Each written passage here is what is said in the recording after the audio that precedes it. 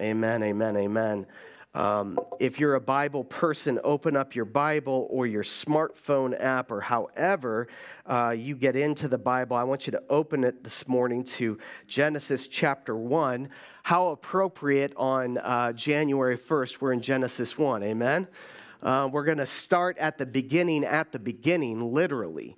Um, so there's a, there's a core uh, truth that I want to communicate to this church this morning, and it is a foundational truth for the Christian life. It is what is underneath all of our values as Christians. This is what's underneath our entire morality. Anything that you would say, this is right and this is wrong, this is moral, this is immoral, all of it sits on this one foundation. And we're going to read about it. We're going to read where it comes from this morning. I'll also tell you that when, as a pastor, I've ministered to people over the years and met with people over the years, I experience a lot of people that have experienced hurt. And there are hurts that we experience, but there are hurts that haunt us. Yes? There are hurts that haunt us. And when I speak with people about the hurts that haunt them. I always find myself, and I mean this very literally, not embellishing it, I always find myself coming to this exact passage for them. Because this is the truth that helps people in the midst of that broken identity. People who have been spoken um, against, they've been manipulated, they've been groomed in a particular way that has brought them low, that has set them on a course where they believe they're nothing. Some of you have been there. And God comes against that you're nothing in a very specific way. And so, this foundational truth is not only what you need for you today, this is what you need to teach to your children. If you're group leaders today and Bible study teachers in our church, you need to teach this to the people that you mentor. When I was in seminary, my final senior year research project was on this topic, and the more I went deep into this topic, it changed me, changed my whole outlook. So there's going to be a lot of Bible study this morning. If you were a note taker, you should take notes this morning because mentally you are going to want to come back. And if you are not a note taker this morning, some of you know what I'm going to say. You should definitely take notes this morning because some of this you're going to wonder how did he connect this dot to this dot to this dot? And it's going to move a little bit fast and be a little bit of a whirlwind and you're going to want to see those connections. They're very important. Genesis chapter 1 verse 26 is where we'll start. This is in the midst of the creation narrative and like last week when we talked about Bethlehem, I do not say the creation story because the creation story implies once upon a time. And this is not once upon a time. This is in space and time and in history Genesis 1:26 Then God said, "Let us make man in our image, after our likeness, and let them have dominion over the fish of the sea and over the birds of the heavens and over the livestock and over all the earth and over every creeping thing that creeps on the earth." And this is this is part of the creation narrative and God has already said, "Let there be light." And he's already created the planets and the universe. He's already created um, all the plants and the seas and, and, and he's created the sun and the moon and the stars. All of that has already been created. And then he gets to day six and he creates animals and he creates mankind. And when he creates mankind, he creates them special.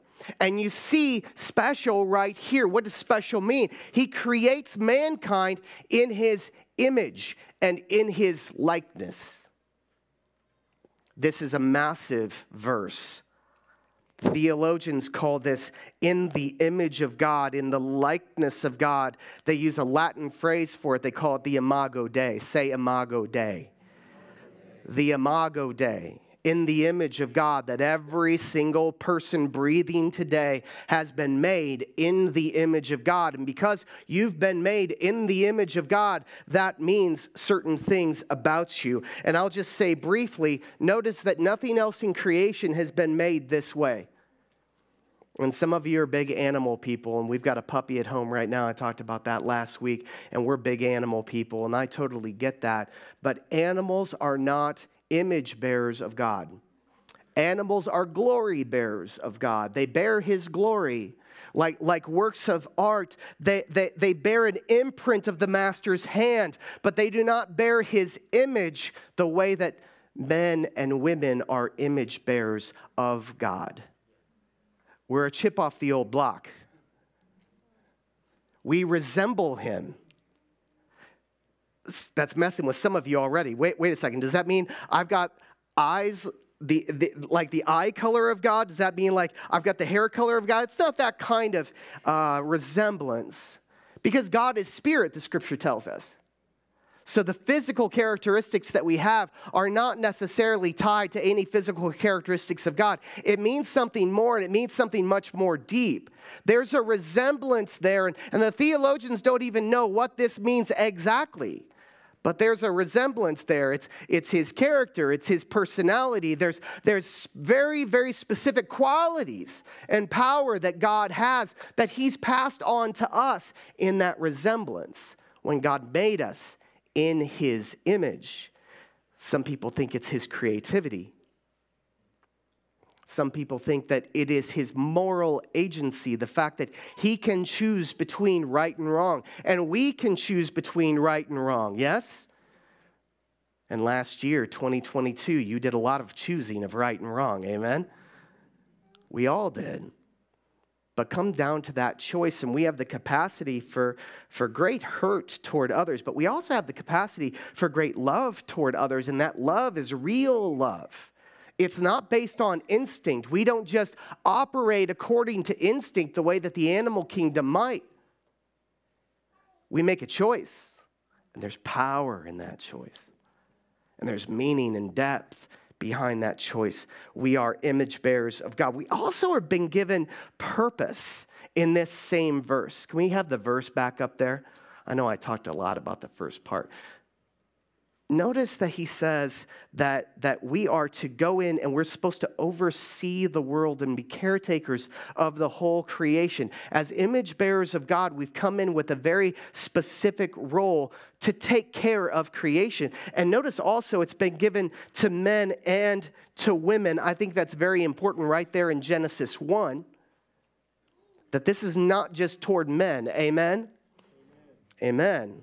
And then verse 28 God blessed them and said to them, Be fruitful and multiply and fill the earth and subdue it, and have dominion over the fish of the sea and over the birds of the heavens and over every living thing that moves on the earth. And just like God passed his image along to them, they were supposed to be fruitful and multiply. Yes? They were supposed to have children. And having children they were supposed to pass their image on to their kids. And they're not passing any image on, they're passing God's image on. So he makes them image bearers and says, Now go bear images.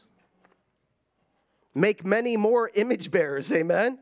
And some of you have been made more than others, for sure. Genesis chapter 2, verse 7. So I'm just going to stay in Genesis here for a little bit.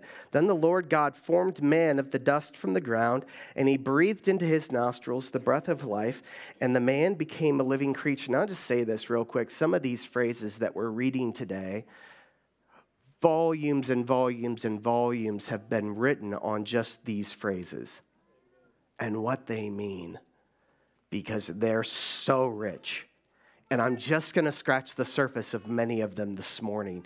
But you have to take in the image of God Himself. And don't ask me how this makes any sense or works. But God Himself, like a parent to a child, takes the body of man and breathes Himself into His nostrils the breath of life. You say, where did life first come from? Where did the human soul, where did the spark of divinity first came, come from? It came from the divine. Breathed directly in to us. How does that make sense? I don't know. But the soul that you have today as an individual, it was given to you by God Himself. And those things that are given to you by God cannot be taken away by a man. Amen? And that matters. Then these are the deep things about us. Why can't we just create a person in a lab in our own way? We are not divine. We can continue on the miracle that God has done in us in the way that He's given for us to continue on that miracle. But you have a divine soul inside of you. And that is who you are. Regardless of what anybody has said to you, that is who you are and it was put there by God. Whew. God's breath breathed into man, close and personal, parent to child. Verse 15. And the Lord God took the man and put him in the Garden of Eden to work it and to keep it. Do you know our first job was to be gardeners?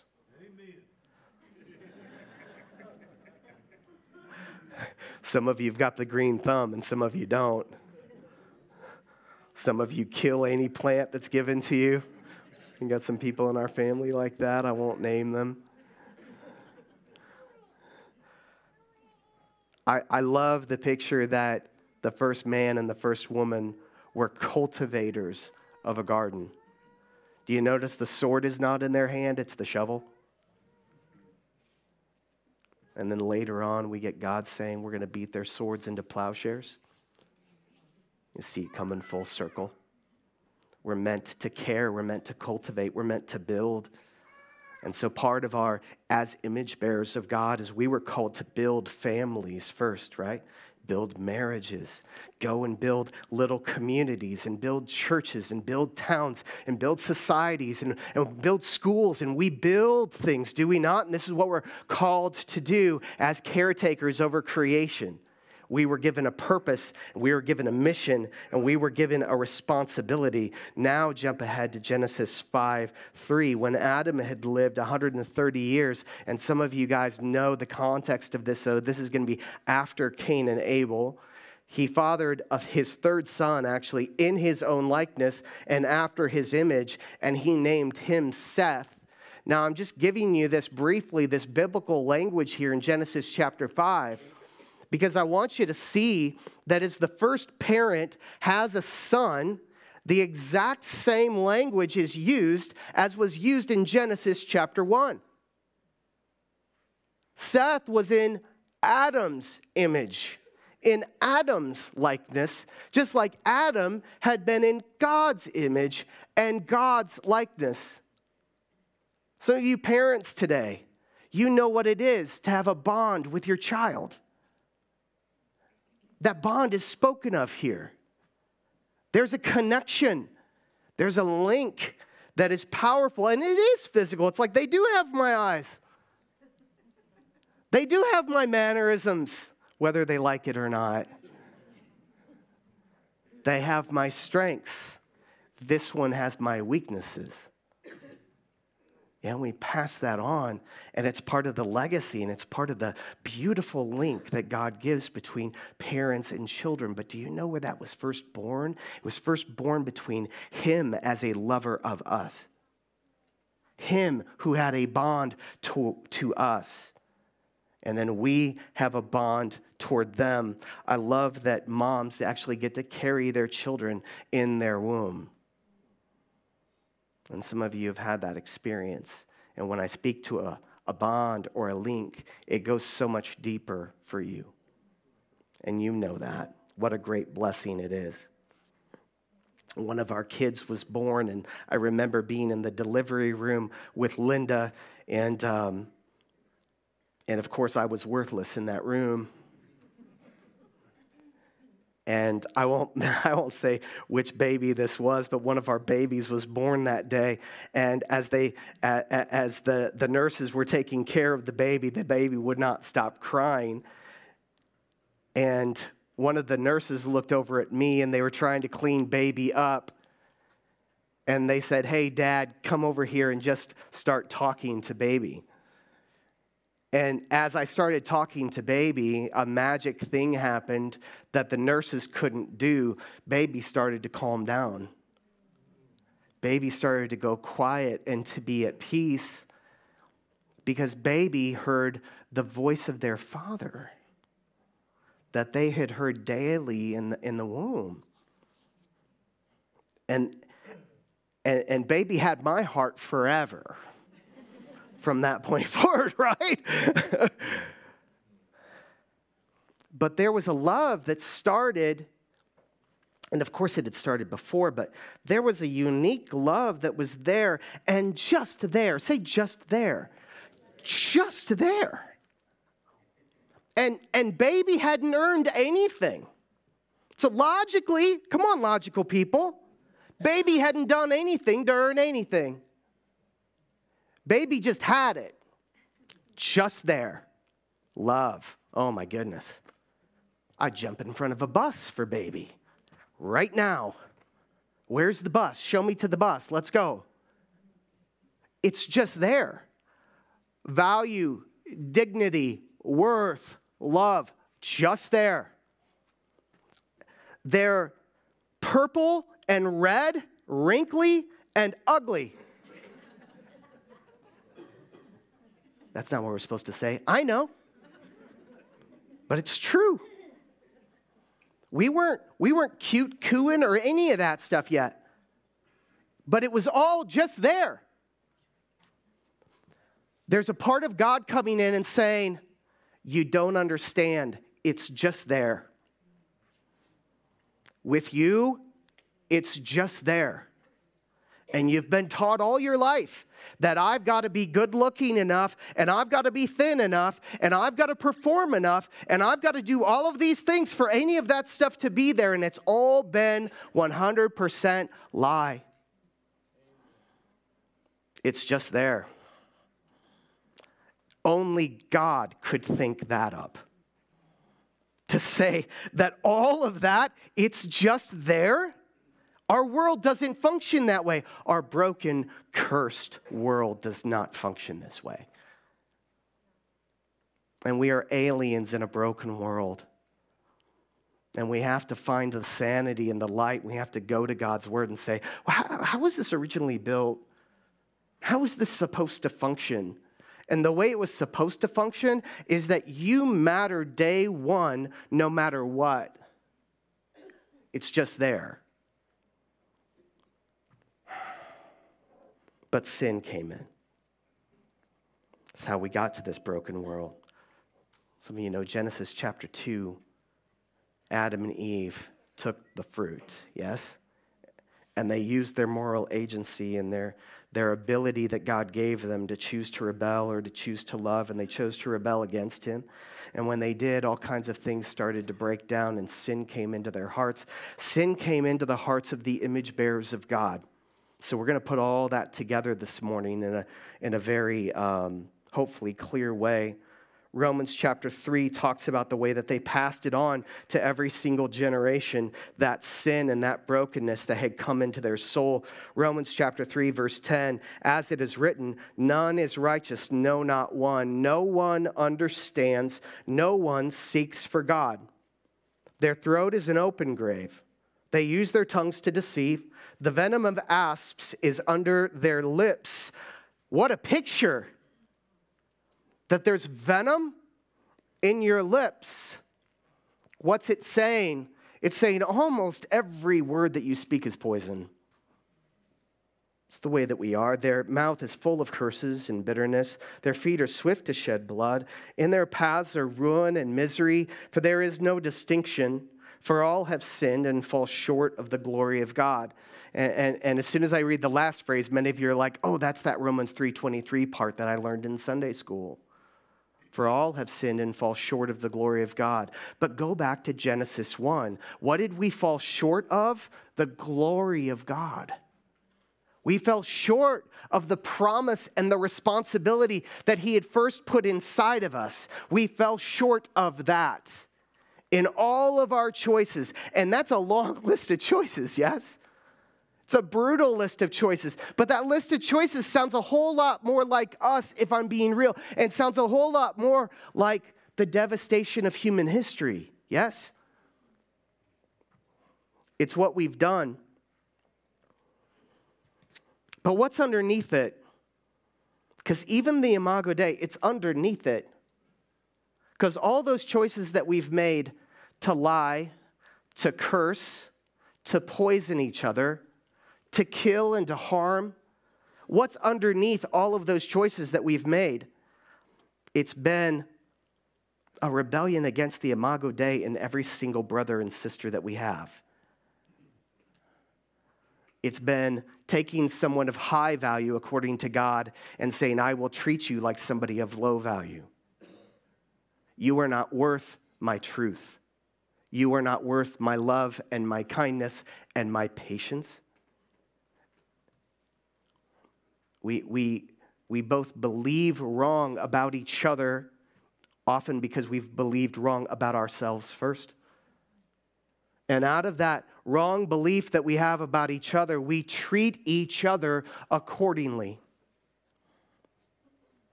And it's, it's done so much damage. And what about our own identity? When sin came into humanity, did that remove the Imago Dei from us? Did it taint the Imago Dei in us?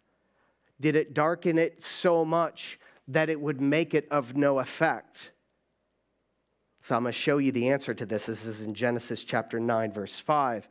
And this comes after the flood. And, and, and, very importantly, this comes after the fall of mankind and the curse that came into humanity. And this is part of when, when God's talking to Noah after the flood. And do you guys remember the rainbow? And he puts the rainbow in the sky and he makes a new covenant with Noah. And part of that covenant with Noah is he tells Noah and Noah's family how to treat other people. And this is the way he describes it. He says, For your lifeblood, I will require a reckoning. From every beast, I will require it. And from man, he says, Listen, if an animal attacks a person, I will require blood from the animal. That's God's justice. And if a person attacks another person, I will require justice and consequence, God says. From his fellow man, I will require a reckoning for the life of man. Whoever sheds the blood of man, by man shall his blood be shed. Why? For God made man in his own image. The Imago Dei is still there. It's still there. You're like, but I've screwed up so much in 2022. It's still there. It was just there in the beginning.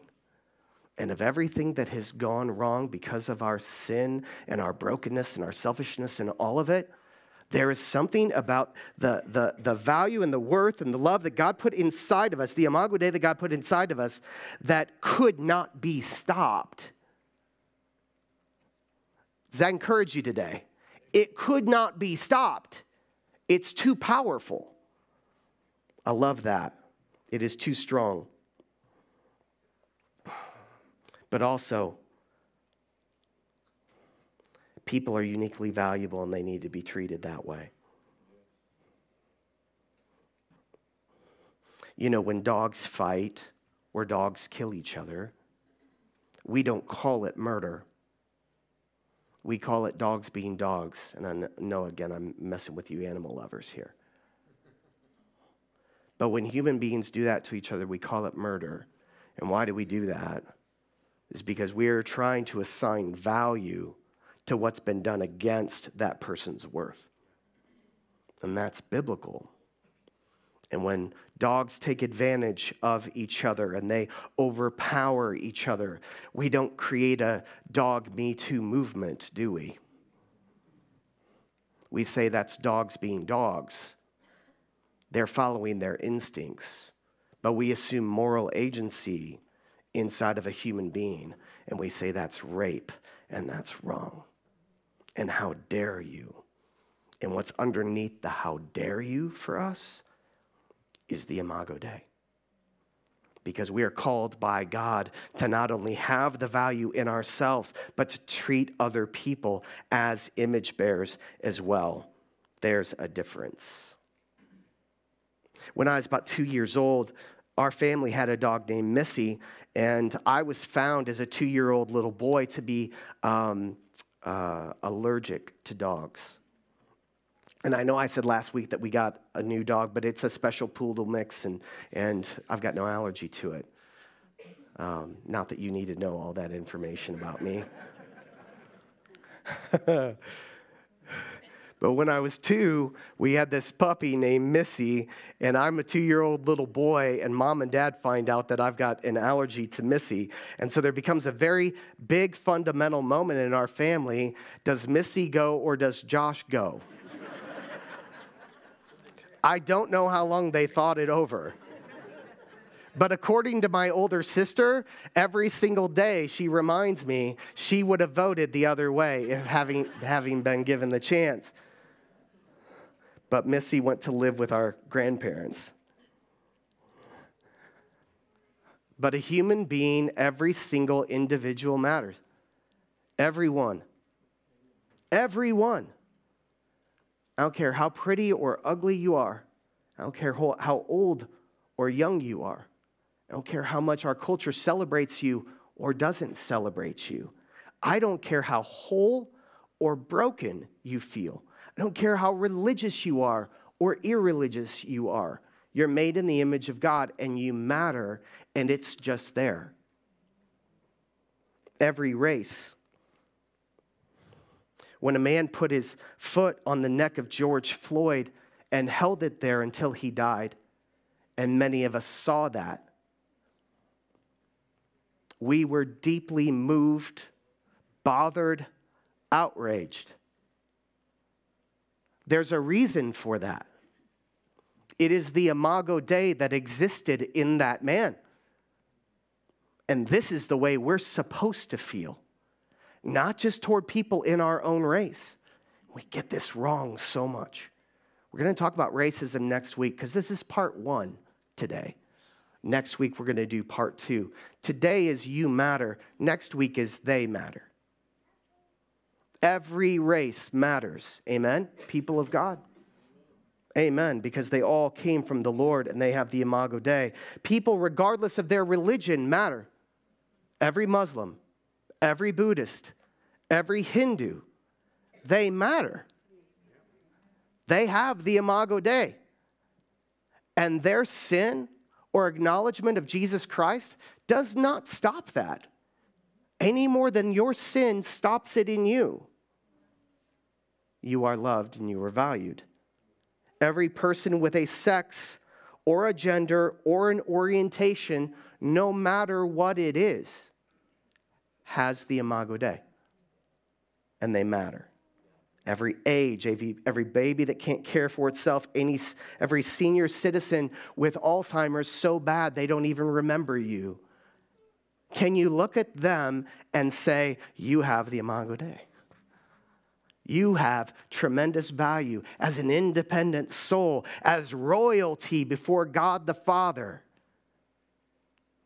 it changes the way that you look at people. It's supposed to. Every single day, every homeless person you see, and you're inclined to have an opinion about how they smell. And I get that. But they possess the imago Dei, they're made in the image of God. And all of a sudden, you start to see why Jesus treated people the way he treated them.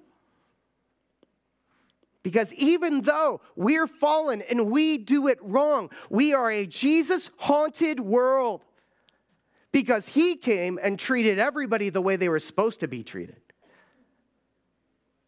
Jesus said, Don't stop the little children from coming to me.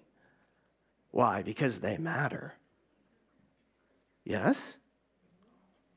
Don't stop the Gentiles from coming to me because they matter. But what about this, this broken prostitute woman? What about these tax collectors? He goes and he has dinner with them because they matter. and Jesus over and over and over again, and the convicted criminal on the cross next to him. To many of us, they wouldn't have mattered, but to the Son of God, they matter. Because that's, it's not just the blessing of the Imago Dei, it's the responsibility that we have. Hmm. In Nazi Germany between 1941 and 1945, six million Jews were systematically murdered. It's one of the darkest moments in all of human history. We're going to talk about that more next week and how they got there. But how did the Allied nations come together and form an army and say, we're going to go against Hitler, we're going to go against what we see happening here? What was, their, what was their moral right and foundation to do that, to go against him and to stop him? And you're like, well, that's silly. It was obviously wrong, was it? Because Hitler was a democratically elected leader, and he changed laws. And he brought about policy that was no surprise to many of the people that were around him. It is what Germany decided to do. So, how could we, as another state, democratically run state, how could we come against this democracy and say, we don't care if you all got your heads together and agreed this was okay? What moral standing did we have? The Imago Dei. That's the moral standing that we had. It doesn't matter what nation you're from. It, it, it, doesn't matter what you've all agreed to. It doesn't matter what the herd all decided was good for the herd. We hold these truths to be self evident that all men are created equal, that they are endowed by their Creator with certain inalienable rights, that among these are life, liberty, and the pursuit of happiness. Declaration of Independence, Thomas Jefferson. Do you see what he's saying? He's giving you the Imago Dei. And it makes us feel noble to talk about Nazis because as a nation we stood against them. But what about what we do in the realm of so many areas? Just briefly, what about pornography? And it's okay to sit in church and to have a look on your face like this is somebody else's problem.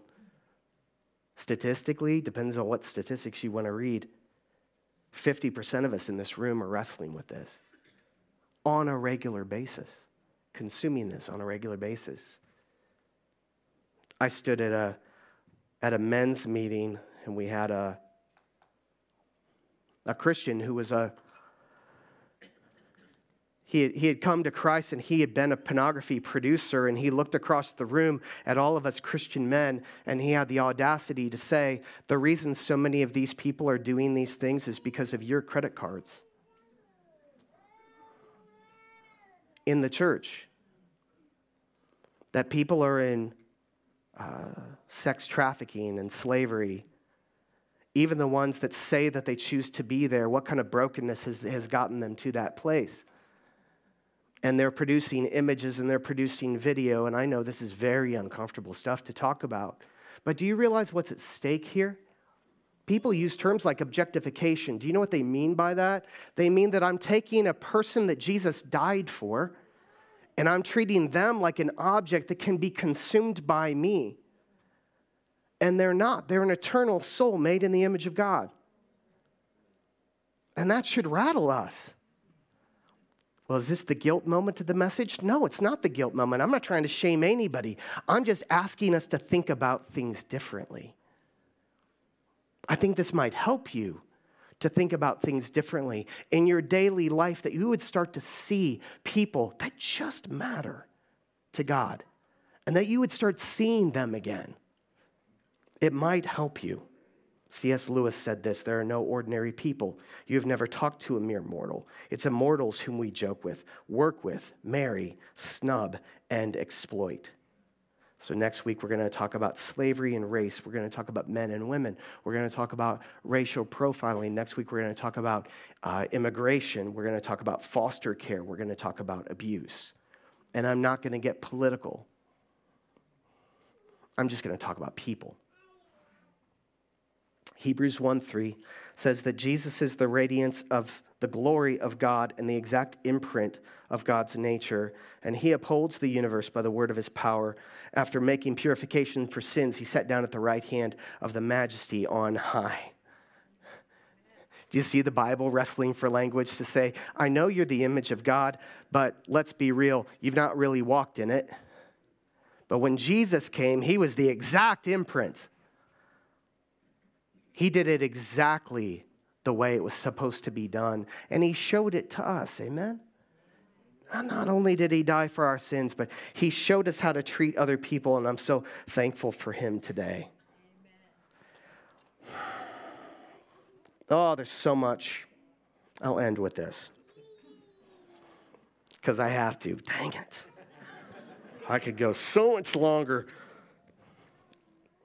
For you note takers, I will just tell you there's a whole passage in Exodus chapter 32, 9 through 14, about Moses. And there's a situation where God makes him into a living parable and asks him whether or not he should destroy the nation of Israel and just start over. And Moses says no. And it, it appears to some people like God might have changed his mind. He didn't change his mind. He asked Moses to see the truth that these people were not just a group of people, they were individual souls, and you don't just start over with your children. I can tell you today, I don't have between two and five children. I have three children. I know who they are. I don't have a group of kids. I have Jacob and Davy and Grace. And if I were to lose one, it would be deeply inappropriate of you to come and say, at least you've got two left. Why? Come on. You know why because they're my kids and they matter to me and I know their names and he knows the number of hairs on their heads. And you matter at that level to your father and he loves you that much. Last story. Four or five years ago, Jake had had some surgery, was in the hospital for about six days recovering, and Linda and I were there, and we were on a floor in the hospital. And over six days, you know, it's like when, when, when your kid goes through something so extreme and so painful, it's like it just really does something to your heart. Have you been there before? Does something to your heart, man. You want to be there every single moment with them. What do you need? What can I do? Talk to me, even if I'm just going to be here present with you. I want to be here with you. And that's just the way, it's just the mode that you go into because you love them so much.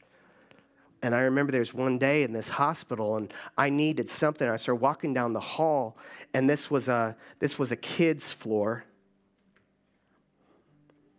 And I remember getting a few doors down, and out of the corner of my eye, I see a little kid in a crib. This little toddler in a crib, and he's just standing up there at the crib, looking around smiling. And I kind of peek in, and there's nobody there. It's just a child in a crib. And I'm like, well, that's weird. I wonder where the moms and dads went. And I kept walking down, and I went to another one, and this time there was a, a, kid about two doors down from that one who was crying. And I look in, and there's nobody there. And I talk to a nurse, and she's like, Yeah, we've got some kids, and there's, there's no moms and dads. And there's no grandmas and grandpas. And there's one, and her name was Mara, and we, over the time that we were there, got to know Mara, and there was no mom or dad around. And, you know, you see that, and you're like, what does that do to Mara to have a season like that? So vulnerable and not being cared for the way that she deserves to be cared for. And what does that what does that do to her? And that's why i bring that story up. It's not to depress anybody this morning but just i guess just to acknowledge that i can tell you all this truth about how valuable we are as people and the way that god made us to be. But the truth is some of you guys have got stuff in your past and you're like but i wasn't treated like it there.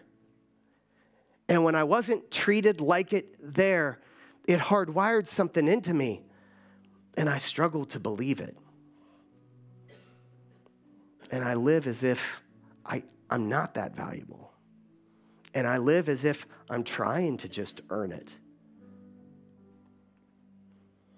I can, I can say up here all day long, you're just loved. You're just valuable. You, you just have dignity because God gave it to you even when you were purple and red and wrinkly. But you're still looking back on 2022 and you still know all the goals you didn't meet. And you still know all the pounds that you didn't lose. We were talking about this in prayer this morning before we came in. We could all list out all the things, all the goals that we didn't meet. And we're all still wondering does that mean I'm low and that I'm nothing? So let me just say again you matter. And you just matter. And you don't have to earn matter. That was weird, but you know what I mean. Just loved, just dignity, just the Imago Dei, because He's good, not because you're good, because He's good. Because He made you that way, because He chose for it to work on day one that way.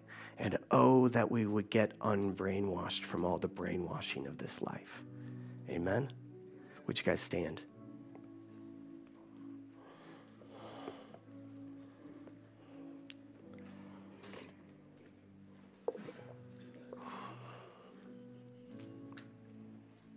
Hmm. Jesus, I thank you that you did not look at our brokenness and say, I'll start over. You knew us each by name. You know the number of hairs on our head. God, you value each one of us. And God, that's the way you see us today. And, and, and God, I just want to speak one more time against the lies. And Lord, I pray that you would now speak in our hearts against the lies because it's your voice that really matters. And so, Holy Spirit, would you come and speak in power into the, the deep place of our hearts right now? And I pray that you would correct, God, what's been broken. Give us new eyes, Jesus that we would see ourselves differently, that we would start to see every single person around us differently. Jesus, we love you. In Christ's name.